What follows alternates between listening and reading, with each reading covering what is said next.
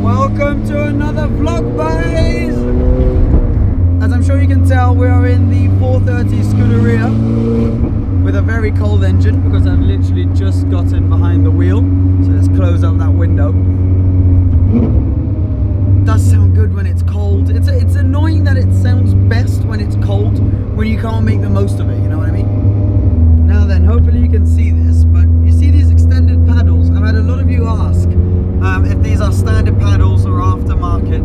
aftermarket. They're. The previous owner put them on, actually two owners ago. Yeah, he put them on, and yeah, so I don't know where they came from. I think they're Novitec because they're real carbon and the same weave as Ferrari, or they're off like some other for like a 16. No, 16M have the same small paddles as the Scuderia normally has, and they're not 599 GTO paddles. So I'm not too sure, but I have been getting a lot of questions about it. Look at that sun. Today, boys, we are heading to check out a pretty cool car with a very, very cool wrap. So I'm trying to get inspiration for the Audi R8 wrap, and uh, I saw this one online and I found it really interesting. So we're meeting up with the owner. It should be pretty insane. That is the beast that we're here to see today. Now I'm just waiting for someone to come out there because we're going to put both cars in to be able to wash them. So this Mini needs to needs to come out. But then we are going to be talking about that beast with a very special wrap today.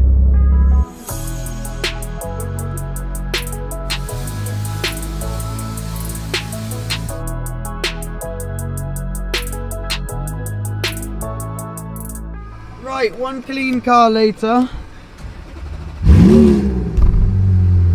Both cars are clean and we've actually had a Novitec 458 just show up out of nowhere right there. I hope the camera's not too shaky but I thought I'd show you Jordan's Performante. I'm going to put his Instagram here. He's got plenty of cool cars. He's got a matching GT3 RS and a similar spec. But if you can see, there's multicolored headlights there and blacked out headlights on this side. It's kind of like a marble gold finish. Super nice matte white on this side. And the gold finishes are really cool, even with his Instagram sort of engraved there. Matte black, forged carbon fiber. Matte black here, even gold on the door handle. Oh, Dodge Viper, that was sick. Naturally aspirated V10, like in this car and like in my Audi R8. It's got the red stitching, sports seats, very uncomfortable but look awesome. And the forged carbon fiber on the interior. This spec is awesome. This is a great car. Now we're gonna head down now into town a little bit and I'll show you a bit more of this car when we get down there. But I just thought I'd make a little vlog and show you this. Seems like there are some cars out. Novitec 458 and this beautiful Perf. And of course the Scud.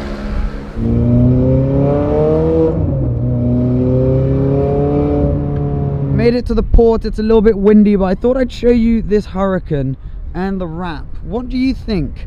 Do you think this could be a good option, the kind of two-faced style? Maybe not exactly like this, but you know, like uh, the, the divide that we saw on like Florian Merckx's LaFerrari or Jon Olsson's RS6 and now this uh, Performante. I quite like it, obviously for the R8 because I'm going to leave this car completely stock for now. But while we've got this car here, I thought I'd show you some of the changes we've got compared to a stock Huracan on the Performante. We've got the ALA system, which is active aero. So you've got little flaps here, for example, where the air, so depending on how fast you're going, how much acceleration you're putting down, these can adapt to modulate the airflow through the car. It's also got gloss uh, forged carbon all around this car, which is really nice. The front split has completely changed compared to a Huracan, much more aggressive. We've also got the aggressive hood from the Huracan, but then these wheels, which you can get actually on a stock Huracan now.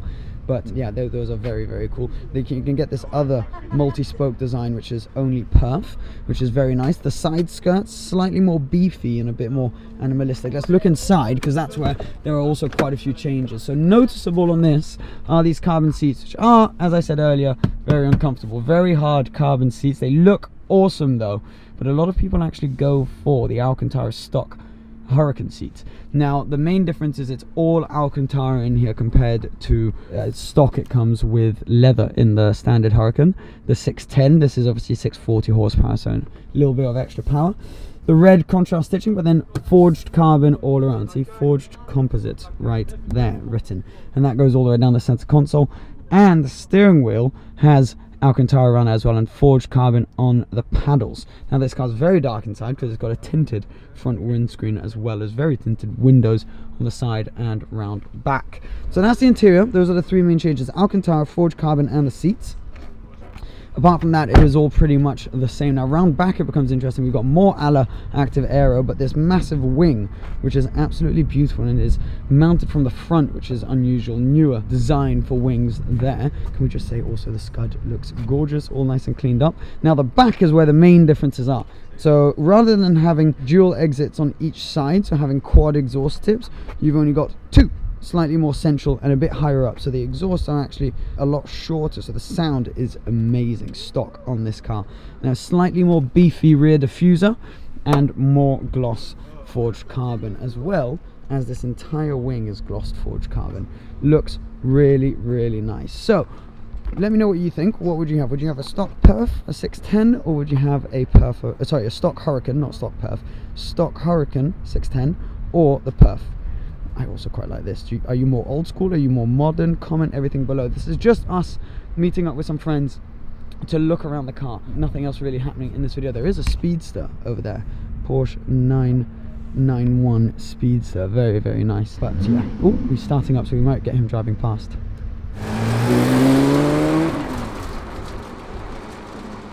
Very cool. Very cool. Anyways, that's pretty much it for us here. I wanted to show you this little gadget I've got there in the cigarette lighter. That allows me to play Bluetooth through my phone and through the radio in this car. And because originally, obviously this being a 2009, there is not Bluetooth on it, but rather than replacing the whole head unit, you can just get this little gadget and it links up to the radio. So you just have to put a certain channel on and then it Bluetooth connects to your phone and you can play music. So I now have Bluetooth connected to that subwoofer right there, which ironically has some noise cancelling headphones on it. Um, but yeah, it's a cheap way to be able to have Bluetooth in the car. Now the car was also cleaned inside recently. It looks all nice and brand new.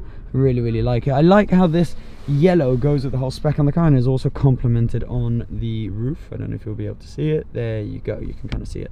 But yeah, anyways, beautiful Monaco. Looks absolutely stunning, but that's it. One last thing I want to show you. Look, my temporary plate in uh, on the Ferrari. So you get these in Monaco, you get these weird temporary plates. It's coming completely unstuck, which is a little bit annoying, but hey ho, it happens. Uh, but yeah, that's pretty much it from us. Let me know if you enjoy this kind of very simple video where I just show you a friend's car. We've got some uh, motorbikes arriving right now. But yeah, just really simple. There's a perf. We came down in the Scud. Hope you enjoyed this video. Let me know if you did. Subscribe if you aren't already, and I'll see you very soon. Cheers. Bye-bye.